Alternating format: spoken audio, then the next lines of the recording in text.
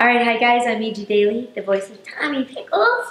And Tommy's going to introduce to you the voice of buttercup.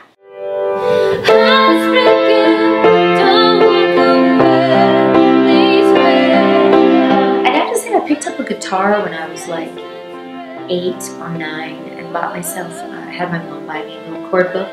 And then we always had a piano or some kind of random instrument floating around the house, so I would just play whatever and start to teach myself how to play different things. I think music was just sort of rampant in our household.